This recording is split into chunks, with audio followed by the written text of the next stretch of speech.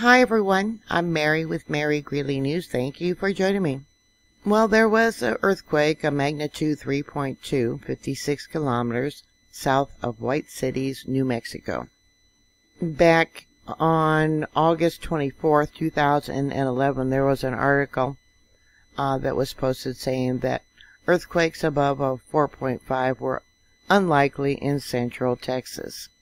I would have to disagree about this. Another paper I found says that between 1847 and 1994, there were more than 110 earthquakes recorded of a magnitude 3 or greater in Texas.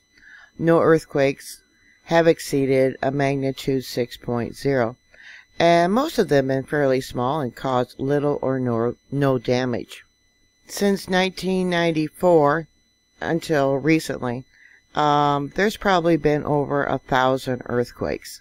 Yeah, earthquakes have been increasing. In the last week, seven days, there has been eight earthquakes in this location. So we have this 3.2, which is 5 kilometers in depth. So that would be about 3.1 miles in depth. There was also a 3.0 on the 18th. 63 people reported feeling that one. It also was 5 kilometers in depth. There was a 2.5. Uh, that was on the 19th, yesterday. No one reported feeling that, and that was also 5 kilometers. And also on the 19th, there was a magnitude 2.2. Three people reported feeling this earthquake. I think uh, most people probably are not reporting them. So using Google Earth, I plotted out these recent earthquakes.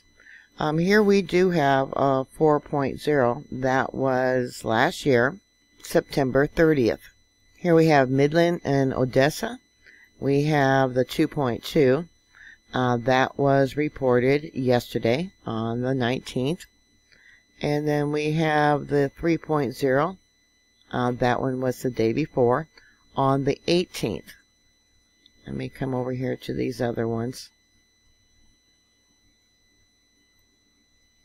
Alright, so we have a 3.2. That one was today. A 3.0. Uh, that was on the uh, 26th of May. And then there was a 5.0 now that was March 26th of this year. So to say that uh, 4.5s or greater are um, unlikely, there is a chance of them. And I'm going to show you some of these other historical earthquakes that we've had there in Texas. Up here in the Panhandle, back in 1936, there was a significant earthquake, an intensity level of 6. Uh, they don't have a magnitude for that. In 1914 and in 1925, in this location, uh, near Pampa, uh, intensity level also of 6. In 1907, another significant earthquake. I don't know the magnitude uh, because it was so long ago. But it was intense enough to cause damage. I'm going to show you some of the other significant earthquakes that they've had there in Texas. And we'll come down here. Let's see here. This area here in 1931 was probably one of the largest earthquakes that they've had. It was either a 6.0 or a 5.8. And then over here, let me bring this out, in 1995, there was a magnitude 5.7 earthquake. Remote location. Going southeast near Dallas and Houston, 1932, there was um, an earthquake. No magnitude was given, but chimney bricks and that were not well mortared um, collapsed. At least four chimneys at different churches collapsed. People inside and outside of buildings reported feeling this earthquake. Here we got Fairfield, uh, Wortham, and Mexia, I guess it is. I don't know. I'm probably pronouncing it wrong. Let me come out to these other ones. Uh, 1891. Now that wasn't very large. It only had an intensity level of 3. Let me zoom in to show you this location. We got some towns. Friday and Lacey. And the reason I'm showing you these past earthquakes is history has a tendency of repeating itself. Uh, uh, 1914, an intensity level near Richards of 4. Um, 1887, also an intensity level of 4. And that would be uh, by College Station.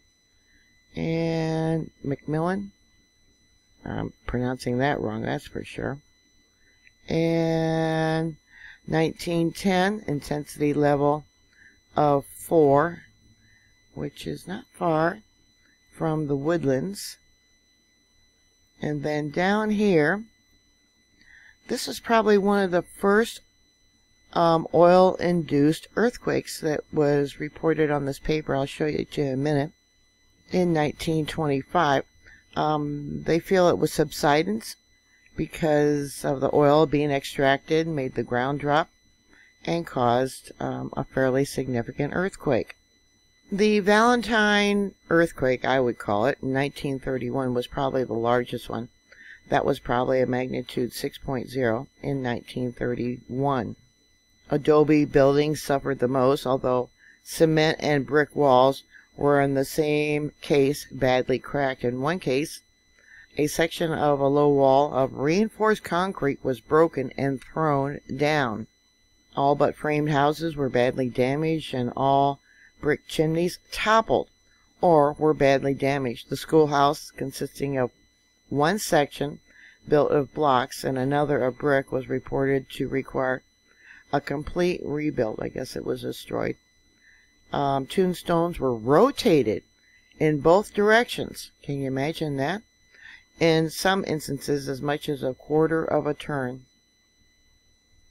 An earthquake on April 9th, 1932 Shocks were felt in Limestone, Navarro Hills, Freestones, and McLean counties over 8,000 square kilometer areas.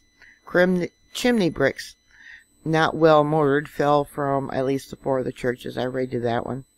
There was another one in 1936 uh, where a man was knocked off his heat, feet and houses were strongly jarred, it says.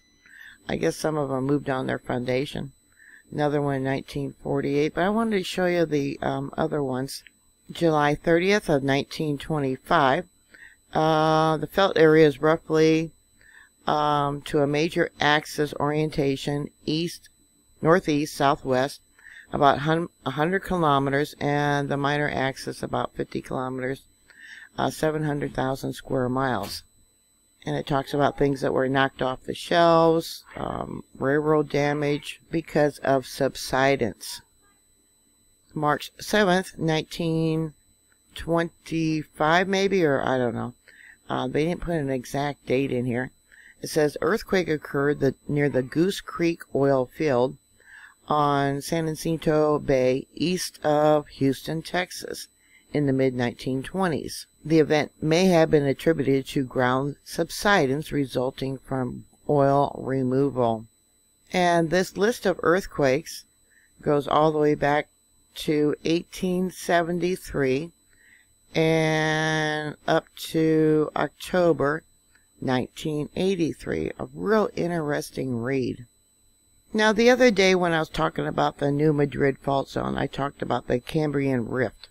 This is an ancient rift when the uh, continents collided. And you notice that we got earthquakes that come up along here and also up along here. And there is an area. Um, I thought I drew it out. Oh yeah, I did. Um, this is an area of rhyolite. Ancient volcanic flows of rhyolite throughout this whole red circle. So there has been at least, at least one magnitude 6.0 earthquake in the past. And like I said, we're supposed to learn from the past. And with all the increase in earthquakes and volcanic activity, I would not be surprised if it happens again. So thank you for watching. Uh, please stay safe. Always be prepared for a disaster. And I'll talk to you later. God bless you. Bye.